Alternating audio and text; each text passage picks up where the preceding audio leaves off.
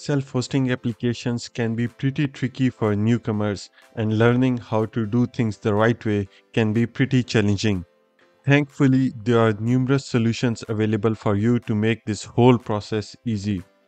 If you just want to get started without messing with anything in detail, Unraid and other similar solutions are ideal for you, but you don't have very fine-grained control over what you are doing. There are other similar open source and free solutions like Tipi, StartOS, which can help you to manage your self-hosted Docker applications very easily. However, all of them lack in one aspect or the other. In this video, we are going to talk about a solution which encompasses everything from VPN to Docker containers to file systems, etc. So without wasting any more time, let's get started.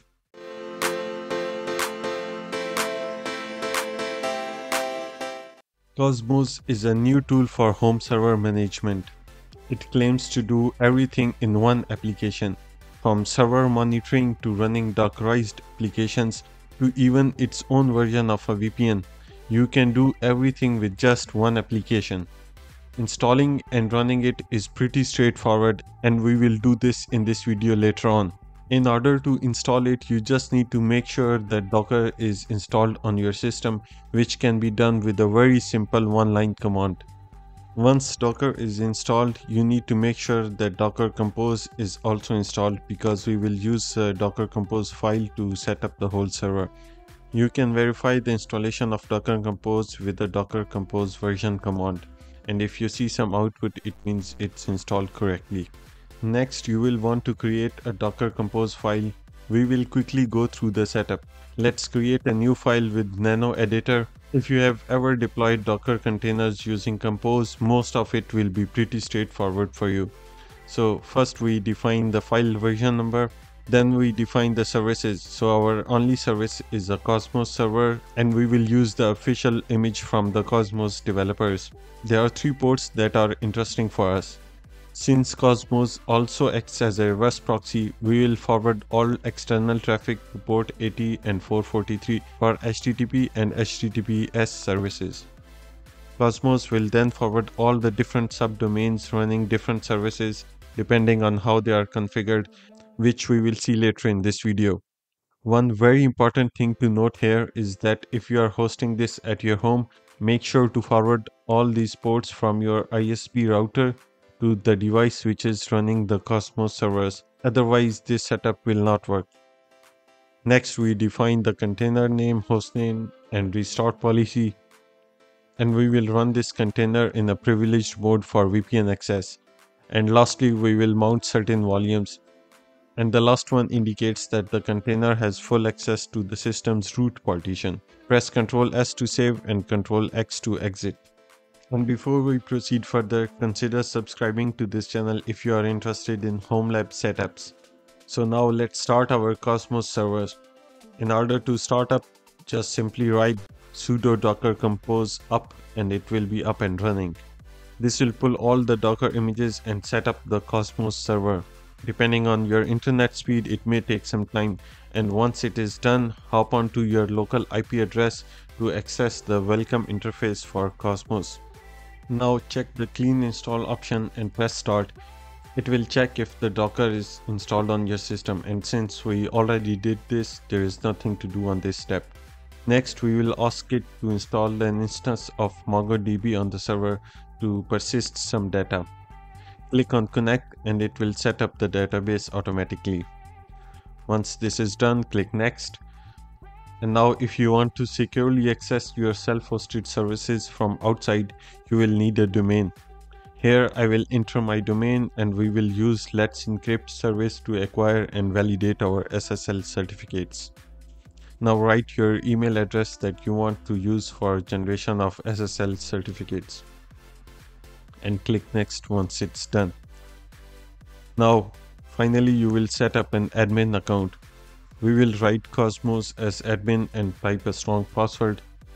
Everything is done and dusted and now we just have to reboot our Cosmos server and everything should be running as expected. If you have a new domain, note that updating the DNS records may take some time so you may have to wait a bit. Sometimes it can take up to 48 hours. Now simply open a browser and go to the domain and you should see the login page. Now log in with the username and password you created earlier and you should be welcomed by a dashboard. This will give you a quick overview of your server. Let's now take a quick look at the dashboard and see what it contains. On the home page, you have access to critical server statistics like CPU usage, RAM, network traffic, etc. On the left side, you have several tabs to access services like Marketplace, Monitoring. In the Monitoring tab, you can get much more detailed information about the server. Another great feature about Cosmos is the Marketplace, where you can use plenty of pre-built images to suit your needs. No need to set up your own Docker Compose files. Just click install and it's done. And you can also expose them through a built-in reverse proxy and connect it with your own domain. In addition, if you want, you can also import your own Docker Compose file if you have a service that is not available in the marketplace. This feature can be very handy for some users. Now let's try to install File Browser from the marketplace. File Browser is an application that lets you access your server's file system directly from the web interface. This makes it very easier to see and modify files and even download them if you want. Click install and set up the domain that you want to use to access the file browser. Once this is done, click next. You can also set up environment variables if you want, but for us, it's okay. Click next and create and it will pull all the Docker images. Once the installation is done, go to the domain that you set up for file browser and you will need your Cosmos credentials to securely access this service. Once you enter the credentials, you will be able to access the Dockerized application. In the ServApps tab in the left side, you can access all the running Docker applications. You can see that some of them are related to Cosmos itself, but the other ones are deployed by the user. In the URLs tab, you can quickly access and manage your containers. You can check the status and see if there is an issue and, and you can debug the service as well. One of the main distinguishing features for Cosmos, which sets it apart from all the other tools, is the integrated VPN. You can use the same application to access your server remotely. Make sure that the checkbox is ticked to enable the Constellation VPN, which is a term used by Cosmos for its VPN service you can simply add a device, set up the device name and it will generate a QR code.